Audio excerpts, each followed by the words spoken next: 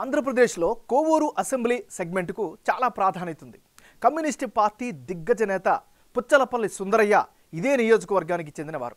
ఇక్కడ రెడ్డి కమ్యూనిటీ చాలా బలంగా ఉంది. పంతొమ్మిది వందల అరవై రెండు నుంచి ఇక్కడ ఎమ్మెల్యేలుగా రెడ్డిళ్ళు మాత్రమే గెలుస్తూ వస్తున్నారు. ఏ పార్టీ కూడా అభ్యర్థిని నిలబెట్టినా ప్రయోగాల జోలికి వెళ్ళకుండా రెడ్డి సామాజిక వర్గ లీడర్లనే బరిలోకి దింపుతున్నారు. ఒక్కోసారి ఒక్కో పార్టీకి అనుకూలంగా కోవూరు తీర్పిస్తోంది. కోవూరు డెల్టా ప్రాంతంలో ఉండడంతో ఇక్కడ మూడు పంటలు సమృద్ధిగా పండుతున్నాయి. నిజానికి కోవూరు సెగ్మెంట్లో నల్లపరెడ్డి ఫ్యామిలీ పోలంరెడ్డి ఫ్యామిలీల మధ్య రాజకీయ వైరుధ్యం ఉంది. ఒకరు ఒక పార్టీలో ఉంటే మరొకరు ఇంకొక పార్టీకి షిఫ్ట్ అవడం కామన్గా జరుగుతూ వస్తోంది. ఈ రెండు కుటుంబాల నేతలు టీడీపీ గతంలో కాంగ్రెస్ ఇప్పుడు వైసీపీ మధ్య స్విచ్ అవుతూ వస్తున్నారు. పరస్పర విమర్శలు చేసుకుంటున్నారు. ఇప్పుడు కూడా కోవూరు పాలిటిక్స్ గరం గరంగా ఉన్నాయి. అసలు కోవూరు నియోజకవర్గ ఓటర్ నాడి ఎలా ఉందో తెలుసుకునే ముందు రెండు వేల పంతొమ్మిది అసెంబ్లీ ఫలితాలను ఒకసారి చూద్దాం. రెండు వేల పంతొమ్మిది ఎన్నికల్లో నల్లప్పరెడ్డి ప్రసన్న కుమార్ రెడ్డి వర్సెస్ పోలంరెడ్డి శ్రీనివాసరెడ్డి వీళ్ళిద్దరి మధ్య ప్రధానంగా పోటీ జరిగింది. ఆ ఎన్నికల్లో వైసీపీకి ఏకంగా యాభై ఏడు శాతం ఓటు షేర్ దక్కింది. తెలుగుదేశం పార్టీకి కేవలం ముప్పై ఏడు శాతం జనసేన పార్టీకి మూడు శాతం ఇతరులకు మూడు శాతం ఓట్లు పోలయ్యాయి. అంటే కోవూరులో రెండు వేల పంతొమ్మిది అసెంబ్లీ ఎన్నికల్లో వైసీపీ అభ్యర్థి నల్లపరెడ్డి ప్రసన్న కుమార్ రెడ్డి యాభై ఏడు శాతం ఓటు షేర్తో భారీ మెజారిటీతో గెలిచారు. టీడీపీ అభ్యర్థి పోలంరెడ్డి శ్రీనివాసులు రెడ్డి ముప్పై ఏడు శాతం ఓట్లు రాబట్టారు. జనసేన మూడు శాతం ఓట్లను సాధించుకుంది. అలాగే ఇతరులు మూడు శాతం ఓట్లు రాబట్టగలిగారు. అయితే ఈసారి పోలంరెడ్డి తన కొడుకును బరిలో దింపుతున్నారు. మరి ఈసారి ఎన్నికల్లో కోవూరు సెగ్మెంట్లో రాజకీయం ఎలా ఉండబోతుందో big TV exclusive detailed election సర్వేలో వెల్లడైనటువంటి అభిప్రాయాలను ఇప్పుడు పరిశీలిద్దాం. వైసీపీ నాయకుడు నల్లపరెడ్డి ప్రసన్న కుమార్ రెడ్డికి ఈసారి ఎన్నికల్లో కలిసి వచ్చేటువంటి అంశాలేమిటి? ప్రధానంగా ఆంధ్రప్రదేశ్ రాజకీయాల్లో సీనియర్ మోస్ట్ లీడర్గా ఈయనకంటూ ప్రత్యేకమైనటువంటి గుర్తింపు ఉంది. ఇది ఖచ్చితంగా అనుకూలమైనటువంటి అంశం. మరోవైపు ప్రజల పరంగా చూస్తే జనంతో మంచి కమ్యూనికేషన్స్ రిలేషన్స్ మెయింటైన్ చేస్తూ ఉన్నారు.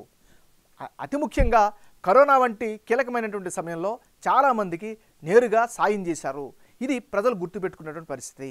మరోవైపు ప్రజలకు నిత్యం అందుబాటులో ఉంటారు అనేటువంటి అభిప్రాయం కూడా నల్లపరెడ్డి ప్రసన్న కుమార్ రెడ్డి పట్ల వ్యక్తమవుతుంది. ఇది ఈయనకి సంబంధించినటువంటి ప్లస్లు. మరి ఈయనకి సంబంధించినటువంటి మైనస్ పాయింట్స్ ఏంటి? కనుక పరిశీలిస్తే ప్రధానంగా ఇసుక వ్యాపారంపై సర్వత్రా ఆరోపణలు విమర్శలు వస్తున్నాయి. ఇది ఖచ్చితంగా మైనస్ అయ్యే అవకాశం ఉంది. మరోవైపు ప్రసన్న కుమార్ రెడ్డి పెట్టిన మండల ప్రతినిధులతో సమస్యలైతే తలెత్తున్నటువంటి పరిస్థితుంది ఇది పొలిటికల్గా చికాకు పెట్టే అంశం. ఇది ఈయనకి సంబంధించినటువంటి ప్లస్లు మైనస్లు. తెలుగుదేశం పార్టీకి చెందినటువంటి నాయకుడు పోలంరెడ్డి దినేష్ రెడ్డి. మరి దినేష్ రెడ్డికి రానున్న ఎన్నికల్లో కలిసి వచ్చేటువంటి అంశాలేమిటి పరిశీలిస్తే కరోనా టైంలో రాజకీయాల్లోకి ఎంట్రీ ఇచ్చారు ప్రజలకు సేవ చేస్తూ వచ్చారు. ఇది ఖచ్చితంగా ఆయనకి అనుకూలమైన అంశం. నిత్యావసరాలు ఆర్థిక సహాయాలతో నిత్యం జనాల్లోకి వెళ్ళారు. జనంలో మంచి సానుభూతిని అయితే సంపాదించారు. మరీ ముఖ్యంగా తండ్రి శ్రీనివాసుల రెడ్డి రాజకీయ వారసత్వం. ఈయనకి ఖచ్చితంగా రాజకీయంగా కలిసొచ్చే మరో ఫ్యాక్టర్. మరోవైపు పార్టీ పరంగా రా కదలిరా కార్యక్రమంలో కీలకంగా వ్యవహరించారు. నియోజకవర్గం వ్యాప్తంగా కార్యక్రమాల్లో పాల్గొన్నారు. మరోవైపు బాబు ష్యూరిటీ భవిష్యత్ గ్యారంటీ ప్రోగ్రామ్ని పూర్తి స్థాయిలో నిర్వహించారు. పార్టీ పరంగా మంచి పాజిటివ్ అభిప్రాయాన్ని అయితే సంపాదించుకున్నారు. ఇది పోలంరెడ్డి దినేష్ రెడ్డికి సంబంధించినటువంటి అనుకూలమైనటువంటి అంశాలు.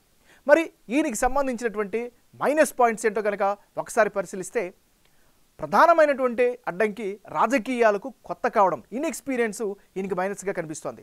మరోవైపు తండ్రి ఓట్ షేర్ను ఎంతవరకు రాబడతారు అనేటటువంటి అనుమానం అయితే నియోజకవర్గ వ్యాప్తంగా వినిపిస్తోంది.